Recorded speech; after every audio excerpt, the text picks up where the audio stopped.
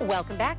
If you are feeling a little neglected in your relationship, you may get the urge to spark a little jealousy in your partner. How can I feel that? I've got a great wife and a great co-host. I'm taking care of all of this. Oh, but. how do you do that without ruining your relationship? Lily Cotilla is here to tell us a little bit about it. Good morning, Hi, Lily. Lily. Good morning. Fresh back in from Minneapolis, one of the greenest cities we just mentioned. I just saw that, number three. Wow. What do you think about that? Pretty cool, huh? Yeah. We're glad to have you this morning. All right, let's talk about jealousy. Why do many people resort to jealousy when their relationship is maybe things are a little shaky? Yeah, well, you know, I think healthy relationships are really based on trust and respect.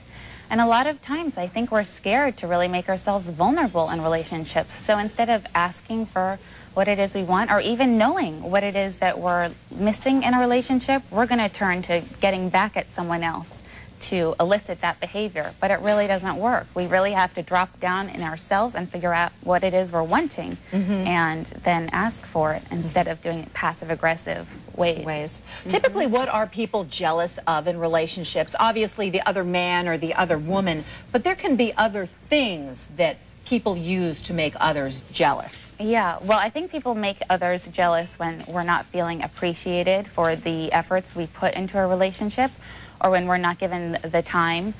Um, someone might find really admirable in a partner, which is an, another way of phrasing um, healthy jealousy, that maybe she gets a promotion at work, or she's a really good mom, or she has her own independent social life. So those are really great things. But if they're not balanced, and if he isn't given the time and dedication as her husband, then that admiration is slowly going to turn into jealousy It does. and yeah, it becomes envy, and then it's just Threatening a little bit. Yeah. You know, and what's interesting is that you know um, people find each other based upon certain characteristics that they have, and when one person uses the characteristic they got to get the other person as a way to make that person jealous, I guess that is probably the worst. Yeah, and you know it typically happens because we play out our the stuff that happens in a relationship, and we don't even realize it until it's it's too late. So that's why it's really important to continuously be self-reflecting in our relationships. Now, this, uh, we're talking today about healthy types of jealousy. Now, you say it, it's, there aren't very many. Yeah, there are not very many. Um, you know, actually, from an evolutionary perspective, jealousy increases our sexual feelings and our feelings of lust. If you can imagine walking down a street and you see a bear, your anxiety is going to go off the roof. So you're going to remember that experience really well. If you walk down the street and see a bush, you're not going to remember much of anything. So when you have jealousy, you actually have more increased feelings around love. But that's not the only way of going about getting it. Do you think it's possible, while I have you here, uh, to have for, for people to have strong relationships with someone of the opposite sex? So in other words, the the boyfriend has a really good friend that's a girl, and that mm-hmm. causes jealousy with the wife, or vice versa. The wife mm-hmm. has a really good friend that's a boy, and then the husband gets jealousy. What happens there? How do you handle that? You know, that's really interesting. And this is where the fine balance comes in. Like you were saying, we're typically attracted to people for certain traits. So someone might be a good communicator. So that's something that there might be a healthy jealousy around. If we go to a party and they're talking aloud, wow, we're really drawn to that quality.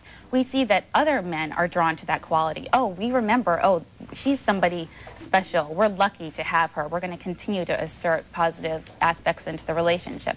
But what happens is when that crosses over the line and that's no longer about communication, instead he starts to flirt and kind of flaunt it in her face. That's when we ask ourselves, what's really going on here for him? What's he not getting?